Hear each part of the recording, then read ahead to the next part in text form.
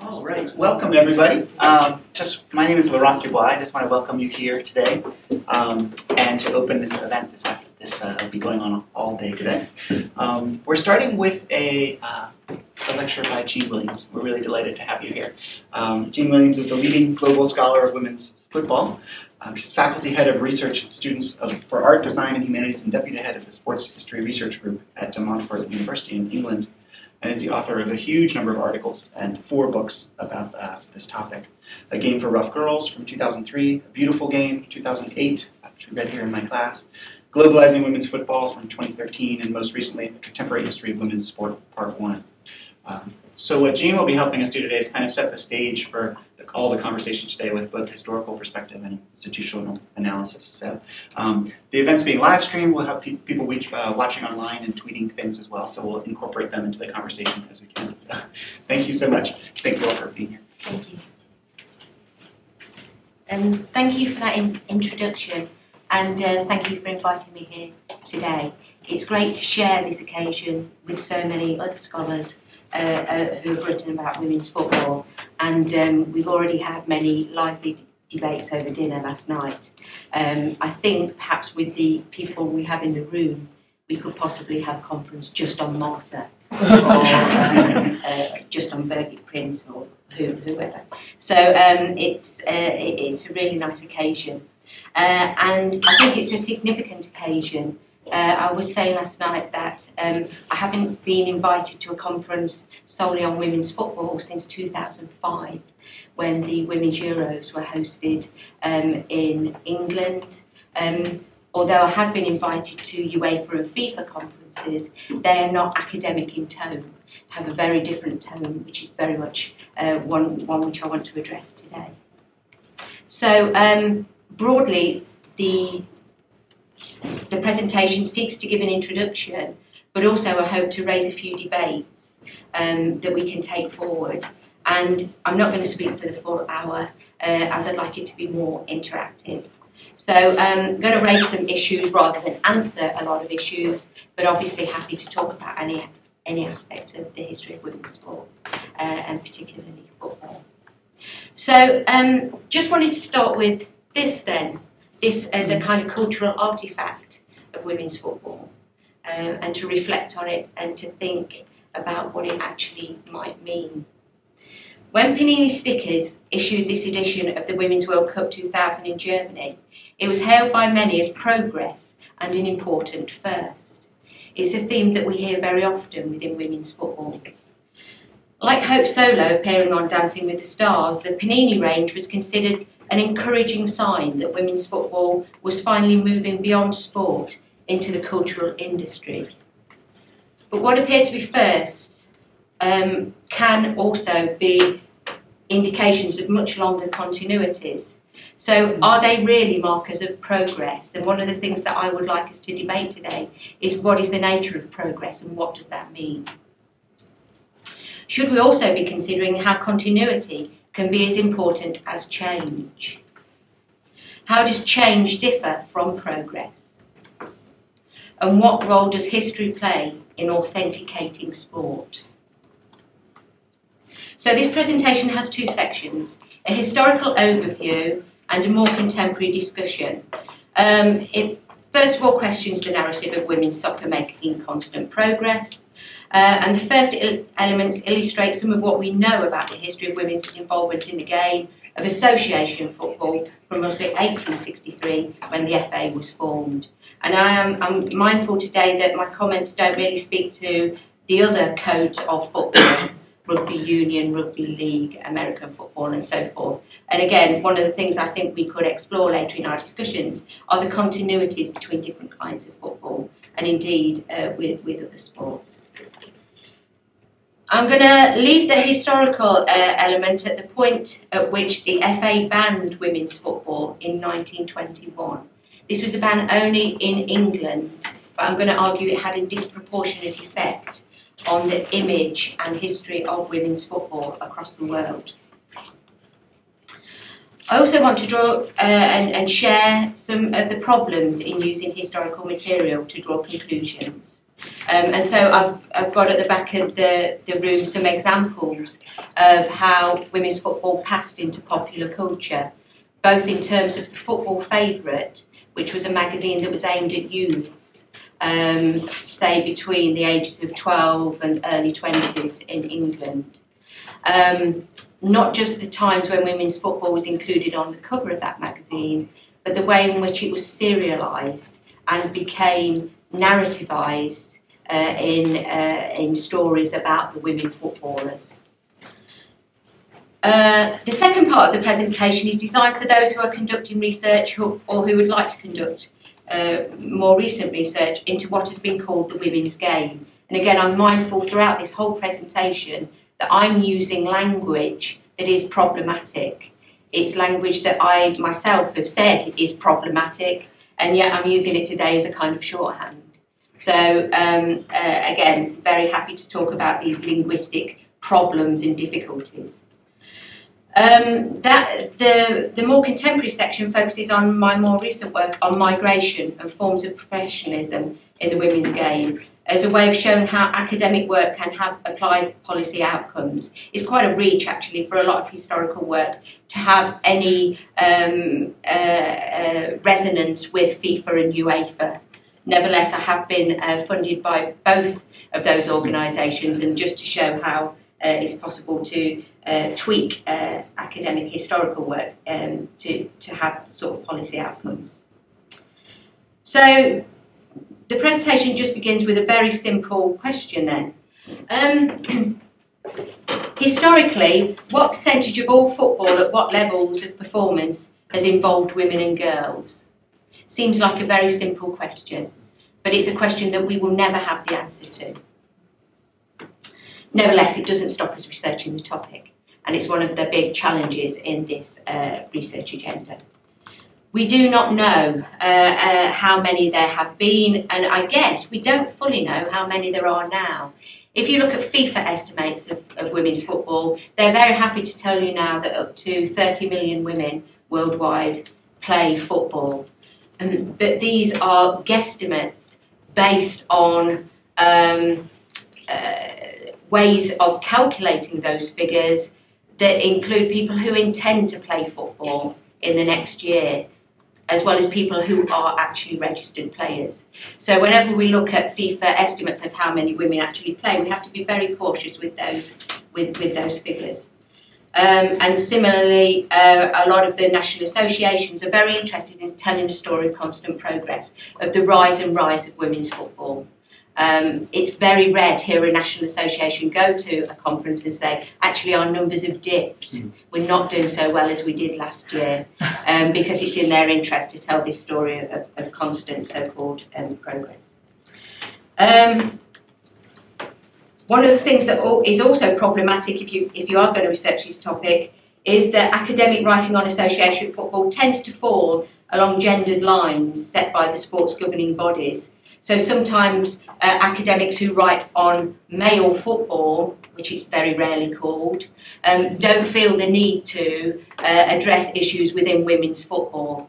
Um, if I give an example of a, a, journalist who I helped recently, who's writing, he's, he's got very interested in uh, the history of the Women's World Cup, and I helped him a little bit with the material and gave him an outline of uh, the history of the Women's World Cup. And uh, as, as a way of thanking me for that, he mansplained uh, who Gianluca Vialli was. Because, of course, being a historian of women's football, I would not know. Um, you get an awful lot of that.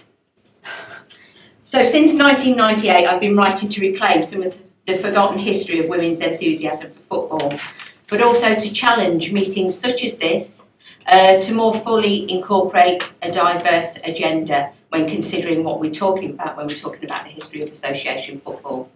Uh, so please be aware that I'll be using football and soccer interchangeably. Uh, and although as a form of shorthand I will use terms like women's football and the women's game, I think this use of language and terminology is itself problematic. And, and again, very, very happy to, to return to that. Uh, I don't know how many people will have seen this particular image. Um, this is a, a, team known as Bridget's 11, we know something of them uh, due to family and oral history. Um, but not, not an awful lot. And one of the things I wanted to highlight today is that photographs are problematic sources.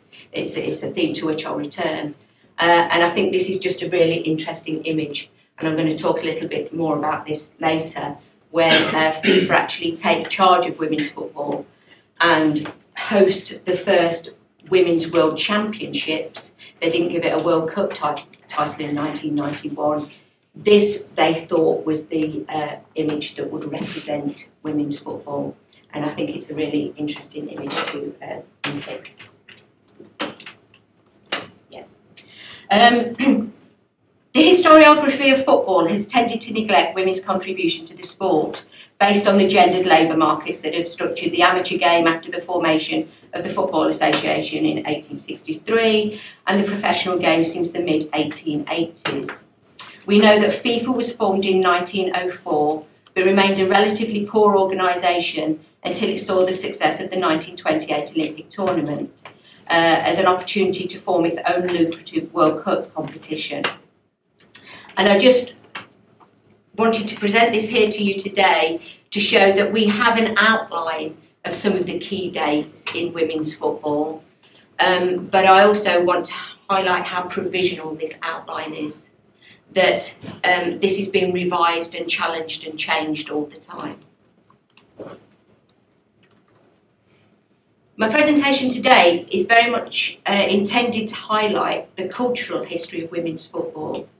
Um, and one of the things that I wanted to um, say is that this is something that is not always enthusiastically backed by the governing bodies of sport. Because obviously women's football developed outside of the structures of the FA and FIFA until very late on in the 20th century. So they're not interested in the history, and actually, they would have you believe the history of it very much began when they took over.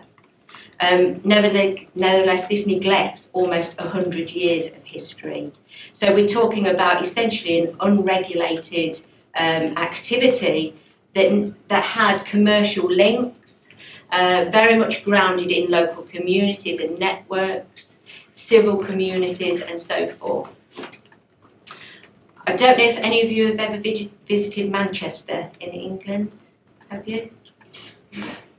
Uh, if you have, you'll know that they uh, house the wonderful um, National Football Museum.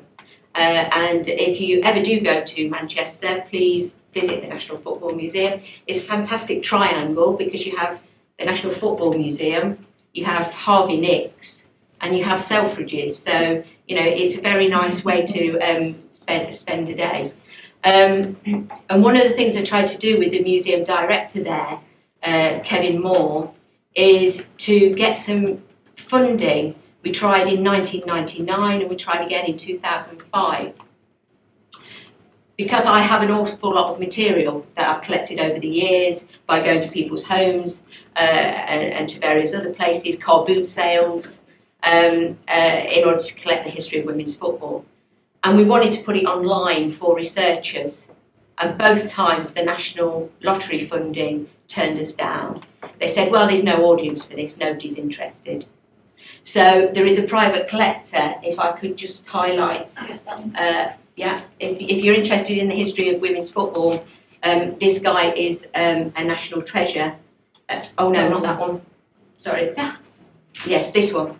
Uh, th this guy is a national treasure in, in England. His name is Patrick Brennan, and he's done what, what I should have done and what I attempted to do with the National Football Museum, which is to put all of this material online. So if you are interested in researching it, then you know you can go and look at the actual newspaper reports of the matches in 1881 for what appears to be the first um, organised uh, match between two teams. They were called um, they were called Scotland in England. They weren't two representative teams. They were called Scotland in England because England has a long rivalry with Scotland, and it was a way of getting local supporters to pay and come down and, and, and to, to see the match. Actually, when we um, look at what happened between the two teams, players later swapped sides and continued to play England Scotland. So they definitely weren't representative. Um, anybody with Scottish heritage here? Will be pleased to know that uh, the, the Scots. Um, uh, and you know we have semi-match reports from this, and we know that there was things like combined play and things that we might expect. So um, yeah, re- really valuable resource. And in fact, if we could just scroll to the top again of the of the website, if you go, could you go to women's football? Click on women's football for me. Uh, you know, it's like it's not exactly an A to Z, but whatever you need to know about these particular teams, um, Patrick Brennan has, has, has put that up there. Um, it, it's it's a wonderful resource. Okay, so I'm going to go back to.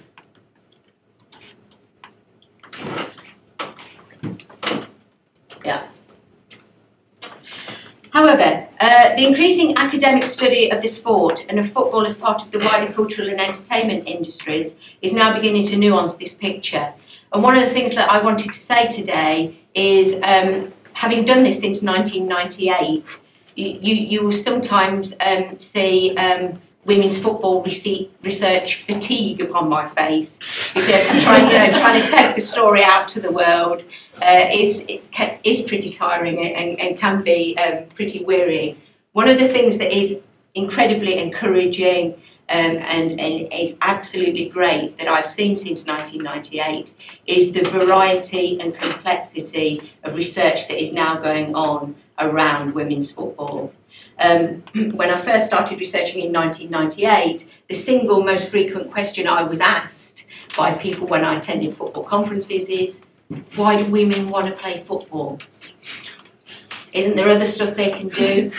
And it was almost like the implication of at least please leave our football pure from women. Um, thankfully, I don't get asked that question so much now. Uh, and there, there are a growing body of scholars who have done really interesting and cutting edge work and also really diverse work. So I think that is something that, that is, a, is a sign of progress uh, and, and is very encouraging for the future.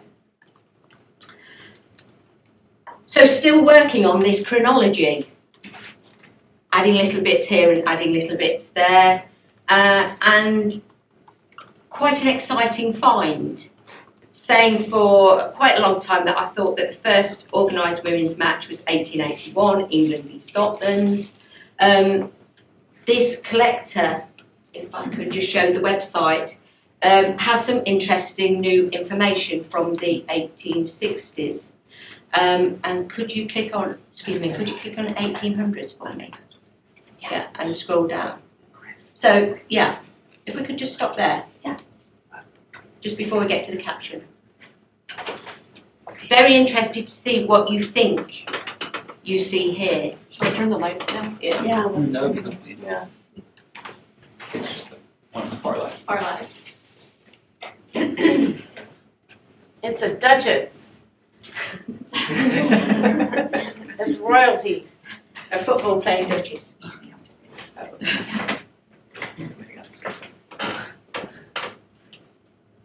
As historians, how would you approach this? What is it evidence of? Classism?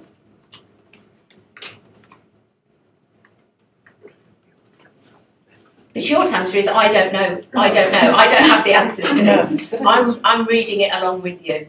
is that a um, swing set in the background? Say again? In the background, is that a swing set? I'm sort of trying to Yeah. place the location, Yeah. right? Yeah. I don't know. It's I great. don't- They're having fun. It's like what women do all the time.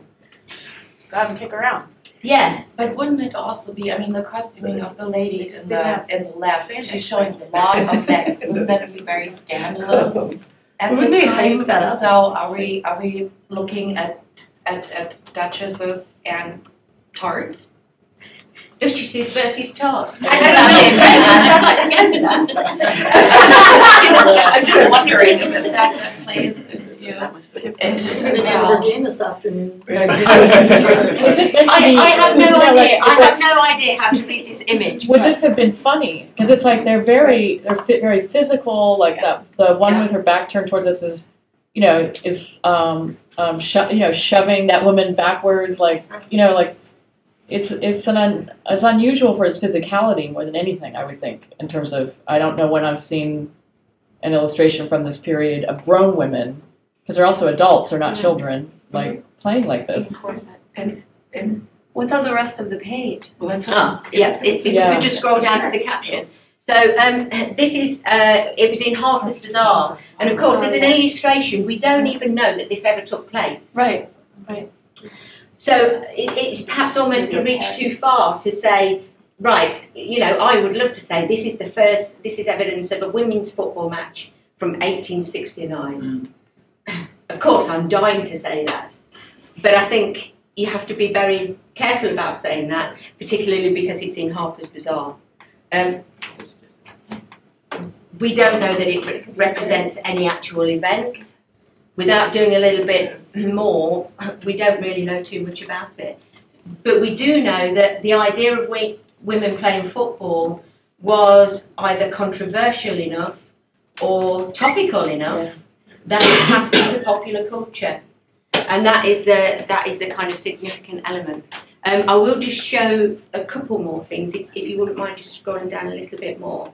Um, if we could just stop there. A lot of you will know the story of Lady Florence Dixie, the president of the first British Ladies Football uh, uh, Association, uh, the non-playing president with Nettie Honeyball, the secretary, we now think is an alias for a more middle-class woman who actually wanted to play. Um, and actually, again, if you go back and, and sort of cross-reference this with Patrick Brennan's website, they played, oh, British Ladies Football Club played over 100 matches, some of them as Mrs Graham's 11. So it was a significant um, cultural achievement. And I think we have to sometimes look outside of football, also thinking about what was going on in other sports, like, for example, swimming, where women could move between the sports industries and the entertainment industries, from the music halls onto the sports field and into, uh, in the case of swimming, into the rivers. And these were different sites where women would become entrepreneurs and try and make a little bit of money, albeit on uh, entrepreneurs that were maybe penny entrepreneurs, a little bit of money. Uh, nothing like the football league at this time, but but you can start to see continuities with other with other sports. And just the last thing on this page, if you could just scroll down a little bit more. Again, yeah, that's it. Talking about um, talking about women's football passing into popular culture and cultural history, we're starting to find more and more of these examples where how do you interpret these? Little trinkets maybe to take home? Or something to commemorate a match? they seem quite cheap, so I can't imagine that there'd be anything that people might collect. Um, and it might be part of that sort of penny entrepreneurial um, aspects of, of women's football at this time. So developing outside and away from the uh, organisation of the FA. Yeah, thank you. Yeah, thanks. So, in going down that route, I just wanted to highlight um, the rich resources that there are out there, but they are not at present collected in any one particular museum.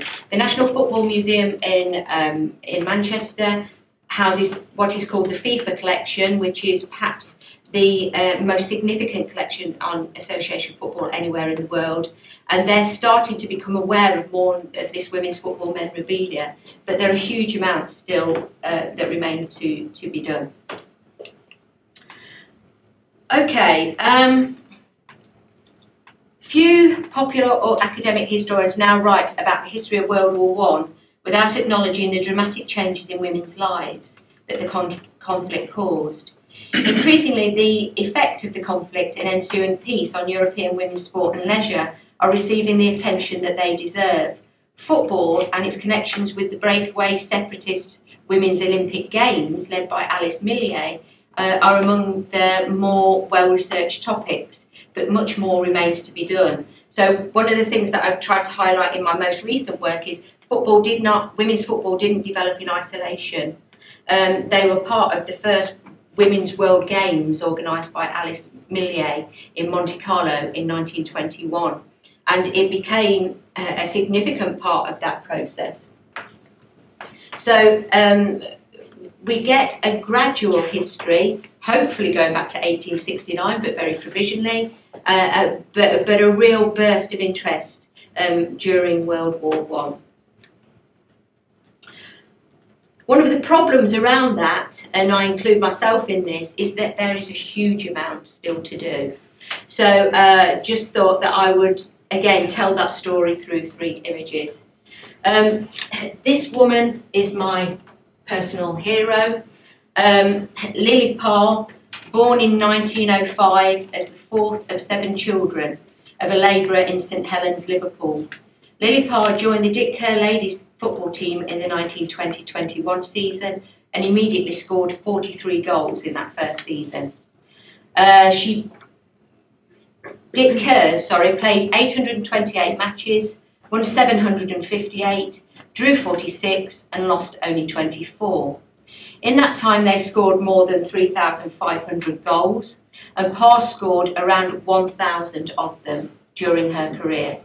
The team drew large crowds and in December 1920 a match against St Helens Ladies, which Parr side won 4-0, attracted a crowd of 53,000 at Goodison Park. So the next time that somebody says to you, and somebody somewhere will say this to you, uh, the next time somebody says to you, um, well, nobody will pay to watch women's football, I hope that you will remind them of Dick Kerr Ladies and the 150 other teams that were playing at around this time. And one of the things that I haven't done that I should have done um, but I'm maybe going to leave it to somebody else to do now, is to do more research on those 150 teams because we only know a very little about Lily Parr. We know a little bit about her teammates. We know very little about the, the other 150 um, uh, teams. What we do know is that Parr was paid 10 shillings per week and travel expenses, which would be around £100 in today's money. Um, $150. Uh, Parr continued to play with Dick Kerr Ladies, later renamed Preston Ladies, until 1951. It was an epic playing career, and like those of us who have played to an advanced age, she began as a very fast left winger. She then moved into the centre. She then moved into defence. She ended up in goal. Um, after leaving the Dick Kerr and Co factory, Parr trained as a nurse at Whittington. Uh, Whittingham Mental Health Facility and continued to play football while working at the hospital. Now, this is absolutely fascinating because they were all munitions workers who were made redundant and then had to retrain as mental health nurses in order to continue to support themselves, which Lily Parr did. Um, and through this combination of football and nursing, um, she became the first person in her family to own her own home. And I think this is a form of professionalism that cannot be underestimated. That would have been a significant achievement for somebody of, of her uh, class and background. Parr died at the age of 73 of breast cancer and is buried in St Helens near to her sister's grave. But what I pre- presented pretty much is what we know about her. The myths around her are much more extensive than the facts. So again, there's much more research um, to be done. There's a myth that uh, shooting in uh, against a male team once, she had a shot hard enough to break the goalkeeper's arm. I, I've searched for newspaper evidence of this, but never been able to, to find it. It is said that she um, uh, was so poor, there's a saying in England that people are so poor that they think cutlery is jewellery. And uh, when she went to a lot of fancy houses for the dinners after the games, she would um, take the silver with her uh, and would, would sell it off later. And similarly, the match ball was often, uh, because a lot of the games were played for charity, the match ball was often um, uh, auctioned off at the end of the match. But because these were quite expensive items worth about 10 shillings, very often Lily Parr would um, take the ball as well. So there are lots of myths about her, and um, uh, uh, she does seem to have been a, a, a larger than life character. That's the woman that we know about. This photograph um, I was given by somebody who got it at uh, a car boot sale. So she paid like five pence for it. And all that we know about this woman is that her name was Doris, Well, that's what's written on the back of the photograph anyway, and that she played for Hanley Ladies.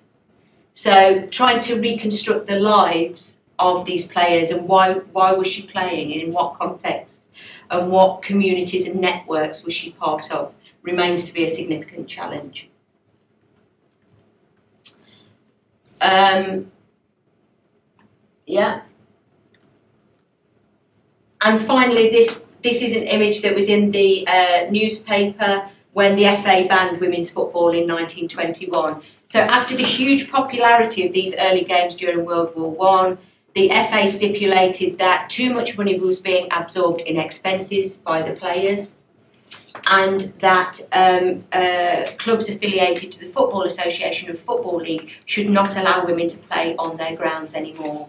And that stopped at a stroke this ability for women's football to collect very large audiences, present a playing spectacle, very often involving some of the uh, leading entertainers or um, sports people of the day, and get a paying crowd to give over lots of money.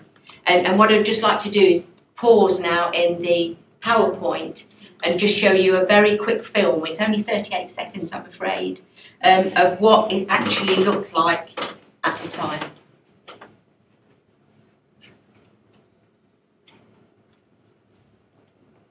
Georges Carpentier had been the um, uh, world boxing champion, so this was significant that he would kick off a, a women's football match.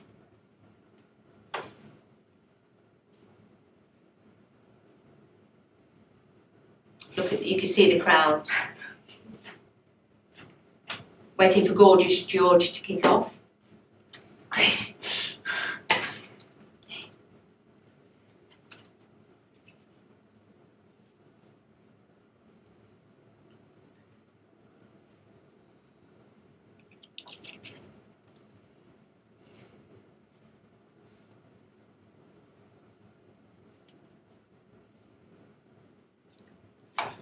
Okay.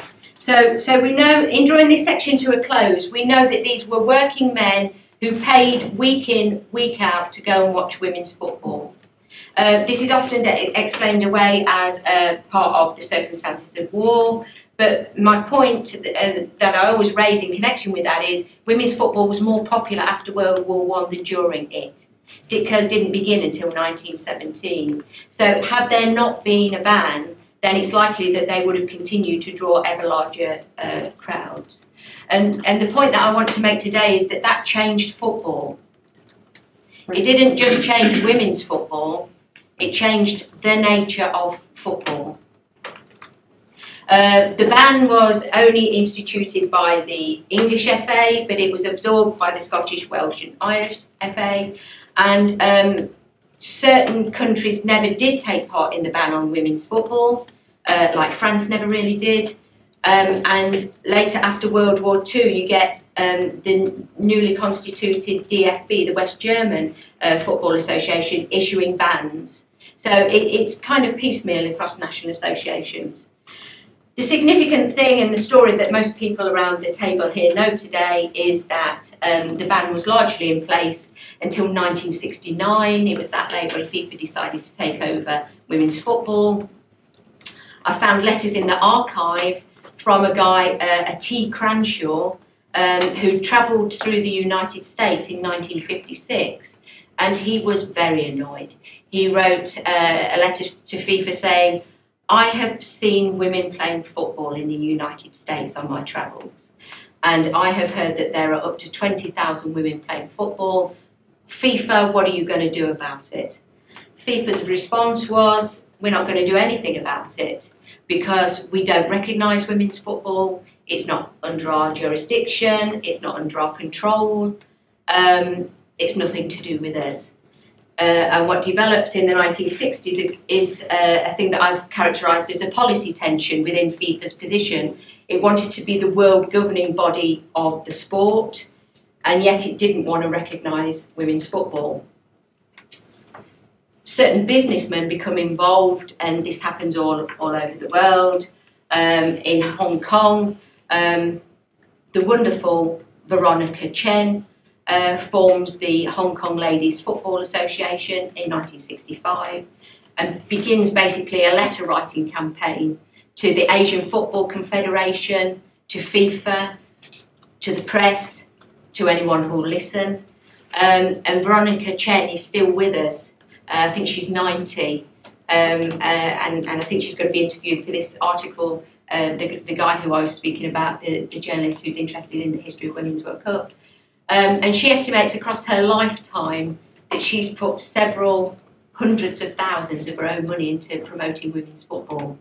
Um, and when the Asian Ladies Football Confederation would not accept women's football in its confederation, she forms the Asian Ladies Football Confederation and tries to affiliate direct to FIFA. All of this manoeuvring goes on for years and years and years, and eventually that situation, the professional leagues in Italy, uh, some of what is happening in South America, and some of what is happening uh, elsewhere in Europe forces FIFA to say, okay, we will become the, the world governing body for football and we will accept women's football. They then decide not to do much about it for quite a long time. Um, and there are con congresses and conferences at which it's discussed and put off and put off. And it's not really until 1986 that things really radically begin to change within FIFA. Um, a chance for a Women's World Cup is passed up in England in 1975 because, believe it or not, sponsors are involved and women's football has to be amateur. Um, it was Viner's uh, cutlery manufacturers and they were willing to sponsor the tournament to the tune of £50,000. Um, and that was thought to be not the right future for women's football because they didn't want it to be too commercial. It needed to be protected and amateur. And indeed, several of the women who um, played, uh, I interviewed Sue Lopez, for example, who played in the Italian leagues. Uh, she's English, but she played in the Italian professional leagues in the early 1970s. She was very ca careful to keep her amateur status because when England then formed the first international squad in 1972, she was eligible to play for her country. And she had to choose a professional future in Italy or an amateur future as an England player and being very patriotic, she came back to England uh, and, and, and, did that. So FIFA become interested in the 70s, get a little bit more interested in the 80s, and um, 1991 we have the first Women's World Cup. And that's really what I want to talk about in this, in, in, in, in this next section. Um, my comments on this uh, uh, are, are uh, informed by uh, a UEFA-funded research project to look at migration into and out of Europe. So I apologise in presenting this to a, a mainly American audience, but it, it's one of the ways to get funded. If they're the European uh, Confederation, they want to know that it's more about Europe. And some of that is political because they can't seem to be looking at world football because that's FIFA's job. So I had to really focus down on um, European football. Um, and I chose two main themes for that work. Firstly, the growing transna transnational migration of female professional players into and out of Europe from the 1950s onwards, when private business interests demonstrated the growth in the women's game. Uh, also have to contextualise that by saying that football was an important game and industry in Europe after 1945 because of its increasing global reach. Uh, Roland Robertson has defined globalisation as a concept that refers both to the compression of the world and the intensification of consciousness of the world as a whole. And you can start to see that happening in football, and you can start to see it happening to some extent within women's football. Um, however, still today, not all national football associations affiliated to FIFA promote football for girls and women, and no national football association in the world provides equal support for its men's and women's national teams, not even the US, Norway, or Germany. If you're talking, show me the money, you know, show, show me the dollars in terms of support. And in fact, if you look at the, the evidence from the Women's World Cups, it's quite apparent that national associations will form great, great squads, squads that win uh, tournaments, that win cups, like uh, happened with the um, Chinese uh, national team in the under 20 Women's World Cup. And um, they just got home and they were just disbanded. So logically, if you're thinking about the development of sport, you keep that squad together because it bodes well for the next Women's World Cup. But actually, it's very short-termist thinking, uh, just to save a, a, a little bit of money. Something that's significant that we have to recognise in that, though, is that the nature of FIFA and UEFA and the Football Confederations changed from 86 to now. It's not like women's football is changing and these, these people are standing still. Those institutions have changed radically, uh, particularly uh, 86 to 88. Uh, and very often in this, Havelange is presented uh, as a visionary for wanting to include women's football and a Women's World Cup tournament. He is the man, it's given down to him to have had this uh, vision for the future of women's football. Actually, it wasn't like that at all. It was um, a woman, Ellen Wille, who stood up from the floor of a FIFA Congress uh, in 1985 and challenged FIFA to have a Women's World Championship because there had already been uh, World Championships in um, cricket um, and in rugby. So, in a way, this is part of the um, policy challenges for FIFA. They were seen to be um, behind the curve and they were seen to be conservative and they knew they needed to change even though they didn't really want to change. Um, they've also changed radi- radically as administrative bodies. So um, UEFA in the early 60s maybe had three full-time staff. now if you go to their very glossy um, offices in Nyon, they have one huge office block on one side of the road on the banks of Lake Geneva for women's football, and they're building another very glossy office block for men's football. And the administrative infrastructure has just grown massively and become much more specialised. And one of the things that really drove the Women's World Cup is that FIFA realised around 86 88 that they could trademark a number of their competitions into products. They could protect them through copyrights and they could turn them into revenue generating streams. And this is really what happens with women's football. It's not a priority, it never has been a priority but around 86, 88, it becomes one of 12 different World Cup brands, including futsal, um, the gaming brands, beach soccer, you know, you, you, you name it. At the end of 2008, uh, FIFA had a larger membership, 208 members, than the United Nations. So it has grown exponentially in terms of the number of nations affiliated to it from about 150 in 86, 88. UEFA was only formed in 1954 and tells you something about the Eurocentric nature of football in, in the same way that the, the naming of the Football Association, when it's not even called the English Football Association, it's just the Football Association because they kind of thought that they owned the game. Um, UEFA currently has 54 members. So in order to understand the push and pull factors involved in female professional player migration into and out of Europe, we first of all have to understand how the map of European football has changed since 1945. Um, and um, this is quite a complicated graph, but it just basically gives you the idea of how UEFA grew, 30 national associations, as Europe has changed Interestingly, though, European football is much larger than the EU. EU currently has 27 countries. It, you know, what is European in football and in um, uh, uh, European politics is, is quite interesting. So, uh, definitions of European identity have overlapped with other interpretations of Europeanness, such as those defined by the EU. Um, but also, the football industry defies distinct articulations of Europe. Um, so, the study had a wide agenda to critique oversimplistic notions of football as a global game. Local circumstances, regional differences, existing patterns of connectivity, parallel industries, and transnational labour markets help to shape female player experience within Europe. Um, I'll just run through very quickly some of the research questions that I had. And again, happy to pass the slides on to people if they thought that they were useful. Um, I wanted to critique that notion of football as a global game when 10% at best of the overall participants are women and girls. How can it be a global game? We have multi, multiple definitions of Europe, when, where and how have women and girls been represented in European football. What are the challenges of defining professionalisation in the gendered labour markets of football?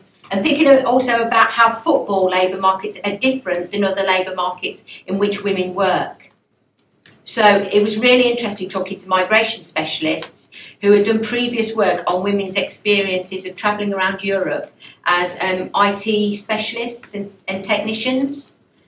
And some of the continuities there were in women's experiences in other industries and things that were specific to sport and, and to football. Um, and, and how do um, patterns of football's migration differ from other industries in which skilled women workers are able to sustain lucrative careers? And actually, I think some of the some of the ways in which we're seeing inroads into the change in football culture is women who are very high-profile lawyers, such as Moya Dodd, who is currently sitting on the FIFA um, Exco, and women who have you know, business backgrounds and other specialisms because football can no longer be run by men in little grey blazers um, who, uh, you know, have a little bit of spare time and want to hang out with their mates. It, it's a multi-billion pound industry and they need specialists. And actually, if women have qualifications in certain areas and expertise and experience of networks and sponsorship, then sometimes they can make inroads into, into that very insular industry. Uh, pretty much I wanted to tell them good news, and I did. so the research findings summary are legitimate, but um, there has been an unprecedented level of connectivity amongst women active in the football industry since the 1950s. There's been greater migration, travel, networking, and digital communication. Um, and pretty much a lot of these uh, confederations and, and, and, FIFA see um, Twitter and social media and that sort of connectivity as the way forward for women's football, primarily because it's cheap. And um, who is generating the content? Women's football fans or fans of women's football. So you get an awful lot of free content helping to drive something that doesn't cost them an awful lot. Um, having said that, some interesting examples of um, women players in the uh, Women's Super League in the UK who are digital ambassadors. And that has been incredibly well organised from what I can gather um, in that these women are given worksheets, uh, weekly worksheets, and with daily things that they have to do in terms of their social media use. And actually, if you look at the uh, increase in the numbers of followers for Arsenal on Twitter, for example, or the number of followers for individual women football players, there's huge potential in social media I would perhaps argue with a note of caution that actually those of us who have been following women's football since the 90s, when the internet first came on stream, actually found one another through the internet. We were finding one another on the internet because there wasn't the mainstream content. And I think to some extent that, that can still be um, happening. So I think we've got to be careful about how, who we're speaking to and not just preaching to the converted. Um, it's about challenging some of those assumptions and I was uh, at a, a, UEFA conference in, um, I've lost track now, was it 12 or 13? Um, and uh, to chime with the uh, final of the Women's Euros in Stockholm, um, and you were still getting comments from people who work within the infrastructure of UEFA marketing guys basically who were saying well you know the easiest way for women to get more uh, attention through the media is to look sexy. Is there something we could do with the uniforms you know? Could there be more pink? All of those kind of comments. And they were very very much challenged from the floor um, as you might expect with uh, with the people who were in the room. But the fact that those attitudes are still around, and that this was quite a young guy who was in his early twenties, um, the fact that that seems to be a default thing to go to in order to promote women's sport is kind of a little bit um, depressing, especially with the amount of power that that particular person has. Um, so things are, things are changing and they are becoming interesting, and, and I do think this migration work was really fascinating. From the 1970s, you had a micro level of female professional opportunities developing globally. So basically, uh, there were individual women like Sue Lopez, and she would go to Italy and she would try and see how she got on there, and then she would try somewhere else and she would try somewhere. So it's very much uh, the, the individual trying to move around to, towards different lucrative labour markets, especially Italy and the US. By the time of the first UEFA tournament in 82-84, a meso level of migration was highlighted uh, by national women's teams becoming more integrated into football's world economy and the global game. So definitely, or, although I think it was very, very belated, um, the things like the UEFA tournament and the Women's World Cup did give women a stage. And it gave those who were interested to say, oh, well, she's pretty good, and I know about somebody from another country than my own, and, and so on and so forth. By the first FIFA uh, experiments with Women's World Championship in the late 1980s, a macro level of migration saw more women being able to earn full-time professional and semi-professional careers from football as players, coaches, administrators in the media, legal and corporate roles. However, the labour markets, as we know, can remain highly gendered. Uh, women players tend to cluster in specific nodes, and it's still based on things that we already know from men's football and other sports, it tends to be uh, clusters of nationality, linguistic affinity, educational opportunities, uh, and social networks. So, particularly in Europe, this has been characterised as the Atlantic drift over to the US colleges, which is where most players actually um, uh, aspire to be. Um, and uh, I think if you look at people like Kelly Smith, uh, the, the England player, it's been very significant in her career. Uh, and it, it, was really interesting, uh, again going back to 98, 99, interviewing, interviewing her just as she's about to go, and then interviewing um, Sue Smith, who chose not to go. And Sue Smith, if, if you see her now um, doing her TV work and media work, she's fantastic. Uh, I think she's a great presenter. Um, when I interviewed her, she was so um, uh, shy uh, and young that she has to be interviewed with her mum in the Adelphi Hotel so that it would be in public and she would have people around and uh, it, has been kind of interesting to see her, her, her confidence grow. Um, we can also see evidence of different patterns of migration in the study. You get an awful lot of curiosity tourism, um, short-term casual contracts, one season or less, may, maybe better classed as movement. Um, you get a lot of short-term migration, one season or more, often motivated by improved conditions and more lucrative contracts.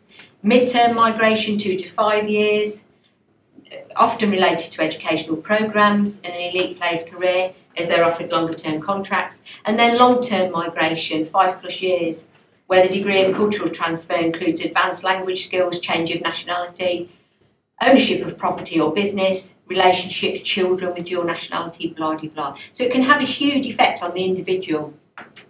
If you can, if you can bear with me, I am drawing to a close. The um, case study that I most uh, often like to cite at this stage is a Scottish woman, Rose Reilly, um, who is uh, slightly younger than Sue Lopez, um, and she initially tries to get into a boys' team by cutting her hair very short and that lasts for a while. Uh, she wants to play professional football. Um, um, but when she's identified as a girl, she can't play with the boys after age of 11 in England as it is, as it is in that time.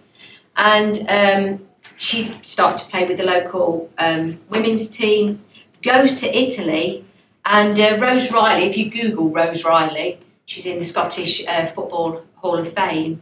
Um, she's very blonde, she's very attractive, she's very much, you know, full of life force. Uh, she, she, she's a character. So she went down very well in Italy. And she ends up not only playing professionally in Italy, she has a fallout with the Scottish manager who she thinks is too amateur. She's banned from the Scottish national team, so she goes back to Italy, takes Italian citizenship, um, plays for, for, for years in uh, local teams. She goes on to captain the Italian national side in the unofficial Women's World Cup, uh, where she wins the Golden Boot. She appears in uh, ice cream advertisements. She sets up a little sports shop. she meets her husband out there. She has her daughter out there. She speaks Italian. And she only comes back to Scotland when um, her mother falls ill and, and, and needs looking after. Uh, and unfortunately for historians, uh, leaves a lot of her stuff in a lockup in Italy, where it's very difficult to get to. Um, so uh, that's material that we'll probably never see again. But the point that I'm making uh, in talking about Rose Reilly is this football changed her life, and she was able to pursue her dream and to live as she, she wanted to live. She also, to some extent, changed the local culture because when she is the captain of the Italian national team, um, her teammates think that as a form of affection, rather than singing the Italian national anthem at the tournament, they will sing God Save the Queen, not realising that Rose would rather them sing Rose of Scotland. um, so it was meant to be a compliment, but it didn't kind of turn out that way. So, um, in, in conclusion, then, I want to be a bit provocative in my closing comments. Um, as we move from Women's World Cup in Germany 2011 to an expanded 2014 Women's World Cup in Canada 2015, we can see that increasing numbers of women from a variety of national backgrounds can earn a living full time as a professional player. Some, like Mia Hamm, maybe Hope Solo, maybe Marta, um, have drawn attention to uh, broader aspects of women's football within the cultural industries. Marta in particular has drawn attention to the neglect of girls and women in the context of wider social and economic problems that provided a backdrop to the Men's World Cup in Brazil in 2014.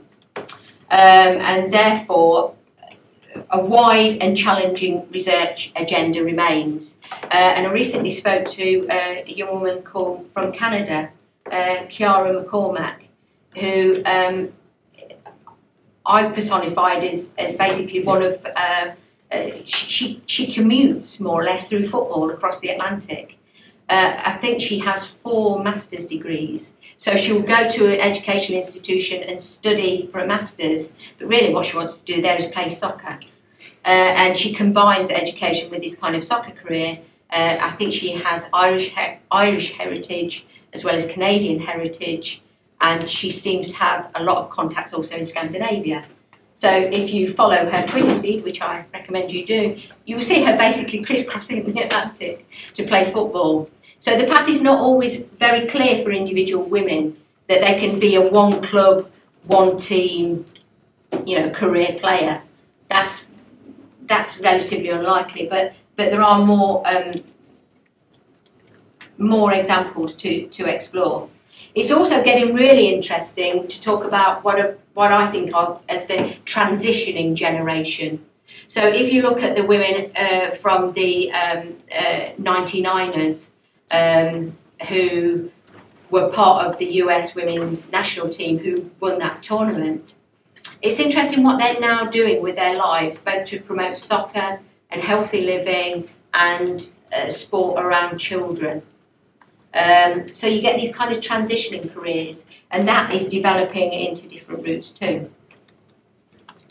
Uh, so I hope today, uh, in, in setting that agenda, I've talked about some historical uh, and other things. I also hope today that we can debate some of the elephants in the room that the current governing bodies of world sport do not want to highlight. In so doing, I hope you'll join me in drawing attention to how narratives of constant progress and women's football catching up the male game mask wider inequalities. Women's football appears not to have a significant history, and this enables FIFA and other world governing bodies to effectively infantilise women's contribution in football to the recent, the second rate, and in need of protecting. You may wish to ask me some questions. However, I'd like to ask you some questions too. Uh, what are your opinions about the gendered labour markets of football in terms of male and female players? at the elite adult level? Should we have the binary implied in the language I've used in my presentation today of men's football and women's football? Isn't it, at the end of the day, just football? Uh, why are these gender binaries so policed in sport and who benefits? Just as importantly, who does not benefit? How might ancillary roles like coaching, refereeing, medical professionals, player agents, spiritual guidance, pastoral roles, and administrative functions also become gendered in the current system, and how might that change? Why are there so few women leaders in world football, and how can they be made more visible? Is this the best way to determine the female contribution? How can we make sport more humane and inclusive? And what role does soccer have in this? And I will say, I have no answers to these questions. these are genuine questions. Um, I've given my view at some length today and in the books and articles, but I also recognise the limitations that I've got a Eurocentric, white, British viewpoint and I would welcome your engagement in developing my thinking, uh, some of which happened over dinner last night. It wasn't just arguing about Marta and, uh, and, and So just as the Panini stickers are part of a much longer history of cultural representation of women's football, I also hope we can see that the mediascape in which Canada 2015 takes place is as important to our understanding as sport. One of the ways in which policy can change is to understand that and to argue against an effect change in that. Thank you.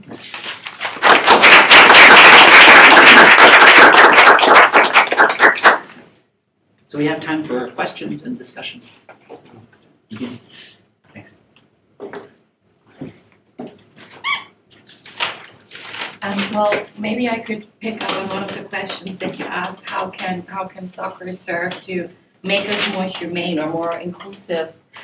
And um, I was just thinking of the research my students did. Um, I'm, I'm teaching the, the German section of um, Professor Dubois' class. Okay. So um, they've looked at, at the leader um, of, of um, uh, so they've been looking at the German team. And um, so on the one hand, we have then a player becoming um, a very out and outspoken uh, GLBTQ supporter person um, on the other hand, of course, that's reinforcing the stereotype that only lesbians will play soccer. So, um, where do we see, you know, where, where and, and that is my question, and we're following up. So, on the one hand, we can have a spokesperson um, for inclusivity and, and for um, um, GLBTQ issues, but, but we're reinforcing a stereotype at the same time. Um, I, I don't know that I have. Yeah, and it's, it's not that I really have an answer to it too. I just I was just thinking, you know, so we have yes, we have the power of, of, of a very visible figure um, and, and and a positive role model, if you will. But um, and then Paige, correct me. Um, you also had looked at it. People were more interested then in her getting married to her partner than um, the soccer work. That, yes. You're talking about a German player, right? Or Uh, Steffi Jones. Steffi Jones? Oh, okay, yeah. Um, okay, well, there's a much broader problem, isn't there, in football? I mean, I, I, I was just saying this at, at, at dinner last night. S- supposedly, in the in the EPL, in the in the Premier League in, in England, there is no out male player. There is no gay male player in the English Premier League, supposedly, who is currently playing. Which is mind-boggling. Which is which is just which is just mind-boggling and clearly not not the case. Yeah. So there are sort of layers of um, stereotypes that we're dealing with here, and they are complex stereotypes, and they are made up of many different facets. Some of them are, I think, class-based. It's quite interesting that um, rugby union has an out male, male gay player, um, and that is seen to be not a problem. But traditionally, the class base of rugby is much more middle class.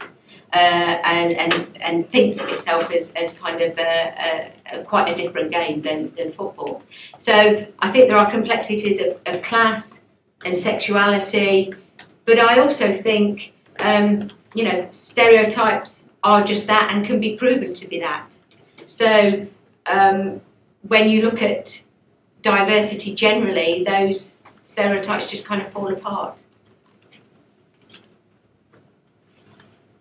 Uh, I had a question about the idea of um, teams or federations uh, promoting progress while masking um, inequalities because there, I was actually following a little bit of a Twitter argument this morning. There was a large feature on the Portland Thorns of the of the U.S. Um, league in the Guardian, and so it talked about there are so many fans there, there's so much support there, it's so wonderful, it's so great, and you know there are some people who are, had a problem with that article in that uh, it it's good to highlight the progress, uh, but at the same time is showing massive support is showing progress, um, somehow saying that that is only what's legitimate. So other teams who don't have as um, many spectators or other teams who aren't affiliated with the men's team or who um, just don't have the resources of that team, are they ha- somehow less legitimate? So the, imp- the impetus behind federations or, or teams wanting to focus on progress rather than you know the what they need to do or this the inequalities that they need to try to bridge is for the broader population if you can put forward something that's successful that's how they feel like they have to legitimize it to the broader population if that makes sense. So it's not that they're saying we're so great. It's that if you if you want to have the broader population who maybe doesn't right now accept women's soccer you show them this example of things, you know, a sold out friendly at Wembley, you show them all these things and then it becomes legitimized and then, you know, you have more than 800 people at an Arsenal women's FAWSL match. So I was just wondering about like the different, if you thought like maybe there were multiple um, reasons why you focus on the progress, not just that you don't want to admit your own shortcomings, but also that in order to legitimize it more broadly, you highlight success, I guess. Yeah, I guess. Um, I suppose it's one of those um, tensions between um, sport development. I mean, well, we could sit here and have a conversation about what is FIFA for? what is the FA for? Yeah. And one of the things that they, regardless of what we think they're for, they see themselves as, therefore, the development of sport, that particular sport, and uh, the narrative that they will often use is pr- to protect that sport against evils and ills that they see coming from, all, all different directions.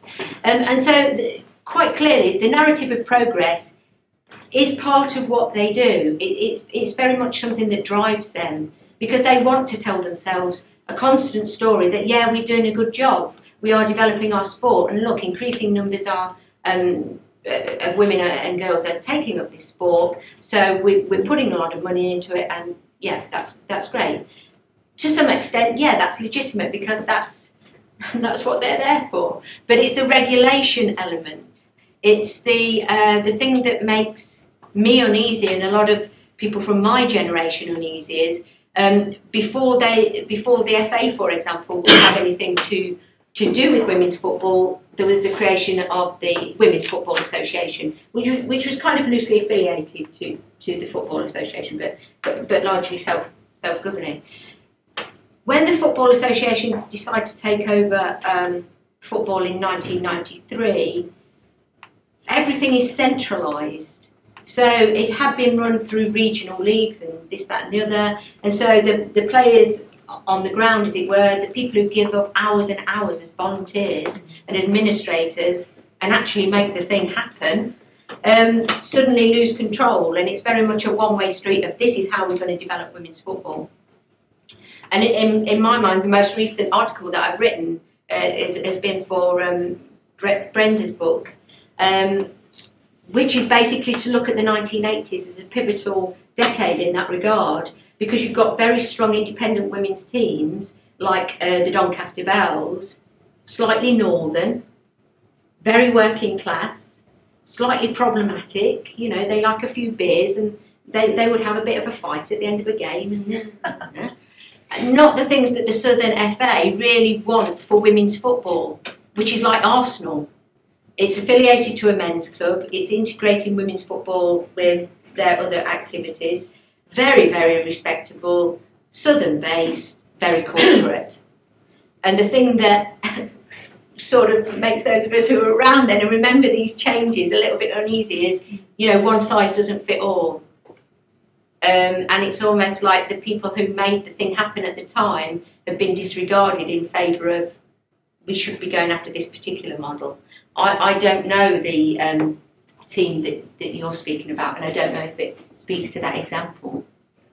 Yeah, I mean, I, I think it definitely does really. I was just wondering the idea of, uh, I, I think there's still a lot of work trying to be done to make women's soccer palatable to like a broader um, audience, and so I think that people approach that in different ways, and I think um, the argument that was taking place on Twitter um, is the idea of, you know, because the U.S. is foreign to, you know, the Guardian's readers, um, are they presenting that singular view of honestly an exception within the league to say this is what women's soccer is in the United States. This is why we're legitimate. We are legitimate because we have 13,000 people. Um, so it, the follow on to that is I, I hope that um, I work with the Washington Spirit. Um, you know, we have a tremendous facility that you know couldn't even fit that many people, but we have about three to four thousand people at every single game. Good, strong attendance. Um, great players who went to the playoffs last year. Um, we're not less legitimate because we don't have the specific um, environment that is that is in Portland that is very unique. So I think that was kind of just an angle of, um, you know, are we are is a team only legitimate because they have a lot of um, fans? Are they only legitimate because um, they're affiliated with the men's team? So I, I think it's on the it's just like different ways. Of Yeah, and I think if you look at Europe, uh, again, when I was when I was doing the, this study, if you look at some of the most um, successful of the European women's teams, they're independent women's teams, and they're self-conscious as so, and um, people like to support that. Um, there are other um, teams that are affiliated to, to men's sides who are very successful, and some people like to support that. Um, and then there are there are teams that are sort of hybrids, um, that, that are almost community-based teams, um, and, and maybe affiliated to a men's team at kind of arm's length, um, but nevertheless trying to create an, uh, an alternative uh, identity. And some people like to, to support that. So I think just the point is that there, is- there is no one model in the same way that there's no one model of a men's football team. Kind of why would you expect there to be? Well, just I love that point about in Washington you have a different maybe culture to that club than they do, but it's almost at a point where not one specific model, but it's almost at the point where trying to convince people that there is any model that's applicable. So you could say point at the Portland model and say it's almost like you're convincing. Well, the more people they have, it's legitimate. Like I just had this conversation yesterday with the U.S. Customs officer who asked why I was traveling to the U.S.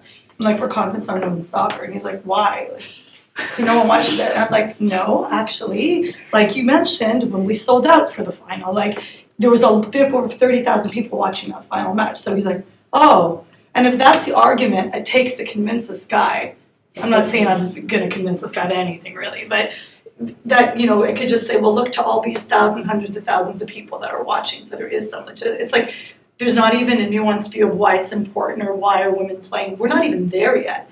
It's get it's we're such at a base level still for some people that there are other people watching. Everyone's doing it, so you should do it too.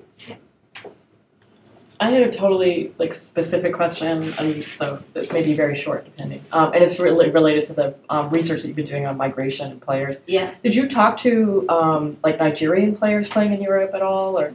Uh, so I say this as somebody who's kind of like been super interested in that team, and Yeah. especially from like about I guess like six six around six or seven years ago.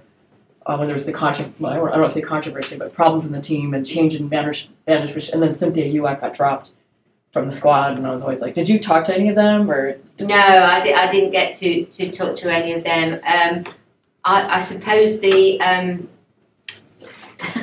I had the weird experience, um, the, the the weird experience of interviewing Gao Hong, uh, the goalkeeper from the uh, Chinese national women's team in Stratford upon Avon, uh, which was just totally weird. Why would you even think that that would happen in your life. But um, she was doing her coaching badges in in Worcester Oh, uh, at the University of Worcester, and just happened to be there.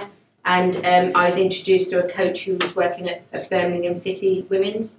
So I introduced her, but it, it was incredibly, it was incredibly difficult getting hold of individual women, um, and certain um, certain football associations were not ever so helpful. Even though I was sitting at the UEFA congresses and the the so-called KISS conferences that they have on women's football, uh, trying to get, I, I would love to have got um, a Russian player, for example, to, to speak to me. Um, so no, I didn't, but I, I, I would have loved to. Um, and I think I think there's some interesting parallels with other migration work that is happening. Uh, particularly, I don't know if you know the um, special edition by Michelle Sikes that she did. She's uh, done a lot of work with um, African marathon runners, Oh. um, and um, she published a, a special edition of a journal. And, and again, very interesting parallels with, with women's football. You realise the, the, the tensions in a team game as opposed to an individualistic sport as such. And, and, the, and the, real, the real developments that, have, that there have been in marathon running for women that you, oh, okay, Paula Radcliffe is, is Paula Radcliffe perhaps the only um, female millionaire from running marathons? I don't know, but certain, be, yeah. yeah, but certain women can have very lucrative careers, and it's and it can be a real pull for a lot of those African women to move to either to Europe or the US to pursue a, a career in running. Um, and it will be fascinating to see whether there are those same opportunities in and around football. Yeah, I mean, I partly got interested in the in the Nigerian women's team because when I was playing with the Hackney Women's Club, we had numbers of Nigerian players playing with us, and they were amongst the best players. And so it meant it created kind of just at least on that within that team an interest in how in like the Nigerian women's side and just sort of following the Nigerian women's side. Yeah. Um, but um, yeah, I've just been kind of because like I think you know from a distance and with just like curiosity, like I'm on their Facebook pages and whatnot, you know, like but um, all these pl- Nigerian players um, were really um, who must have interesting migration stories, and I've just been I don't know anyway. So there's just more more questions without answers, I guess. So, Yeah, I, I think some of the some of the first um, African players are just going to have just been signed this year in the Women's Super League, Mm. and one of the things that I would like to do is, is to talk to to talk to those players. Um, I, I went out in 1998 to the um, Second World Women in Sport Conference in Namibia um, because I wanted to understand when I was doing the PhD. I- I'd done a little bit of work in the US, and okay, if I can understand soccer in England, if I can understand soccer in one of the world's wealthiest countries, what is what is women's soccer like in one of the world's poorest countries? You know, where, where there are all kinds of other problems, let alone wanting to have a kick about. And um, you know, I thought that that was uh, an absolutely fascinating experience. And I think, again, one of the reasons why I'm slightly hesitant uh, in in some in sometimes being cynical about the developments that we've made. I think it's difficult to disprove that certainly in terms of infrastructure, a lot of the African nations now have more opportunities to play in terms of permanent um, HQ and you know facilities and so on and so forth than they've ever had before. And I think that there are a generation of young women. We, we trained one at, at, at my university um, on what's, what's called the FIFA Masters, and she's from Namibia and she went back as a professional administrator to improve the status of women's soccer there. Um, and those kind of things are, are happening, even though slow seems and change seems painfully slow generally. Uh, I just have a question about uh, like the ancillary roles you were talking about. Um, I saw like two weeks ago the NFL just hired its first female referee, and that was actually the first time I I realized that there were only male referees. Uh, I was pretty surprised. I feel like it's just you take something for granted because you you kind of categorize like referees just in its own own like image, just because everyone hates the referees and stuff. and the reaction from the NFL has been like largely positive Yeah. that they're taking these steps to hiring female referees. Um, I'm just wondering, is there any like, are there any like, is there is, is it just like a lack of interest why there aren't a lot of female referees, or is, are there like certain barriers, or is it just like a precedent thing? Okay, I, I couldn't speak too much about the NFL. Um, what, what I know about the NFL, we could probably be right on the back of a stamp. But um, talking about referees in, in in general and these kind of female female ancillary roles, um, it is um, well sometimes if there are so many barriers, why would you? Mhm. Why would you put yourself through that? Um, and there uh, has been a very um, recent survey by um, a network uh, in England called Women in Sport, and um, some of the um, uh, YouTube videos that they have posted as a result of their survey are completely appalling. I mean, I'm talking about highly trained female doctors running on the pitch to treat uh, a- an injured player and just getting awful abuse shouted at them. Horrendous, horrendous abuse. Uh, thi- this is uh, In Chelsea? from Chelsea. Yeah. Yeah. So, um, why would you? Yeah. Why would you put yourself through that? If, if you're a if you're a highly trained female doctor, why wouldn't you go off and do something else? So, uh, one of the things that sports often realise is is are that they, they have a problem and that they need to change.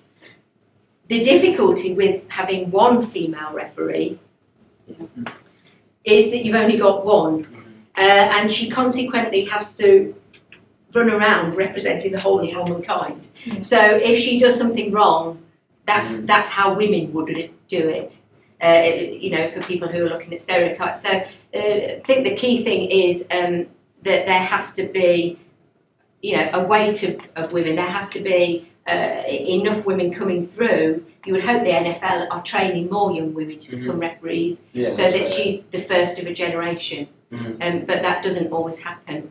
And I think we saw that in England with um, uh, uh, Hope Powell as the England women's national team coach. You know, she was very much um, heralded as the first woman with her uh, UEFA A pro, li- pro license, and um, now she's gone. Who is there to follow, and what's happened to Hope? So um, individual women, not always, you know, it, it's it's a great first, but it's not always a great step forward for the sport.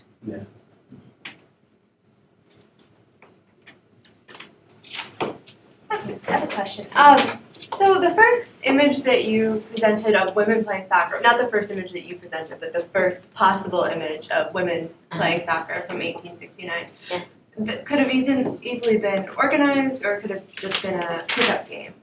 And I'm kind of curious about, so most of your work is on, or that you've presented is on sort of institutionalized sport, and I was wondering how you might see the sort of limitations of, of looking at women's sport as institutionalized, um, as validated or not by the FA or validated or not by FIFA, and sort of what the parallel trajectory of informal participation um, could look like in terms of the, the analysis that you presented here about progress or lack of progress, and how do we how do we understand the parallel ways that women either spectate and professionally play soccer or play soccer as amateurs or aficionados. Yeah. Okay, um, it, it's a great question, um, and and it's perhaps the most difficult issue to to answer. But um, the the way that I usually answer it is um, that I only treat the voices of FIFA and UEFA and the FA as they are reflected in minute books and papers and documents and what have you, as as one voice or one series of voices often a, a very confused set of voices. Um, but if you go to speak to the players, you have another set of voices. If you look at different ways in which women's football is represented in different cultural artifacts, you've got a whole different set of voices. And I don't privilege the so-called institutional voices any more highly than I do any of the others. If anything, I'm probably inclined towards, um, you know, wanting to talk to the players and what they think they're doing. Um, and, and that's really how I started with the oral histories. Um, and I've just become more and more interested, as you probably gathered, in this object based research um, because I guess I would like to think of how it's passed into to popular culture because there seems to be a perception that you know, like the panini stickers are new. To, yeah, to some extent they are new, but they're not new in terms of this longer cultural history. Um, and I, I guess one of the things that always strikes me, you know, walking around in, in, in Britain is that you know about men's football even if you don't want to. If you're if you're um, you know going to hospital in Leicester, you'll see the signs for Leicester City. You'll see little local boys and teams names, and you can't help but know about football. If you want to know about women's football, you generally have to go and look. But I'm maybe revising that viewpoint, and maybe it, it, it has been more widely represented in cultural artefacts that I'm aware of, and maybe more people will have known about it.